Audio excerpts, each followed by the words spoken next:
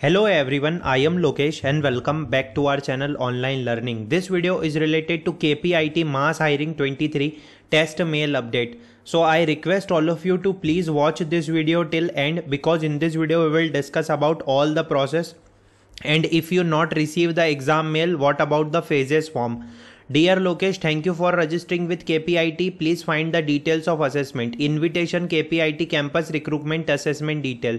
MNC's exam is started.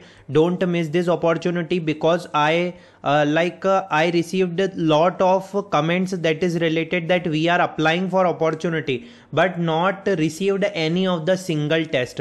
So this is the proof that companies are sharing the test mail to all of you as well as I already post one video that is related to L Tara. So they are also sharing the test mail to candidates. Mount Blue is also sharing the test mail to candidates. So I uh, like uh, I request that please apply for the opportunity as soon as possible this is the mail that I have received invitation KPIT campus recruitment assessment details. One of the most important point it is from the superset notification at the rate joinsuperset.com to my email ID. Okay. This is related to invitation KPIT campus recruitment assessment detail.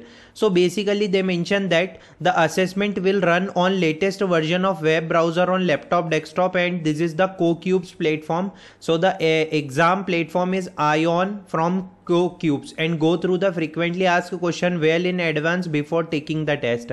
Okay so basically my test is scheduled today 21 october 2023 and the test time is 4 pm okay and they mention that student can log in until 30 minutes after the start test commence.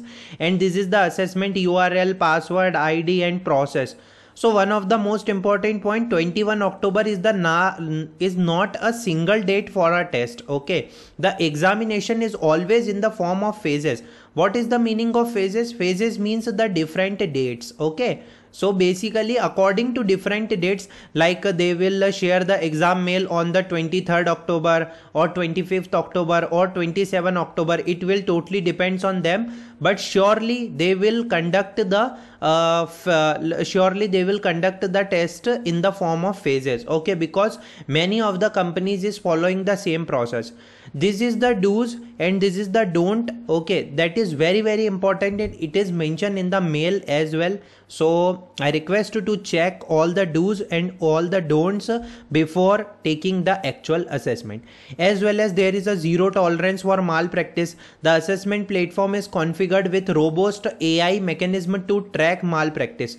Any candidate found to be using unfair means may be disqualified from the process. So don't use anything that is uh, that is related to malpractice. So one of the most important point what about the pattern? So kpit generally conduct the online test first okay? And after that there is a like a technical interview or we can say that there is a tr round and after that hr round.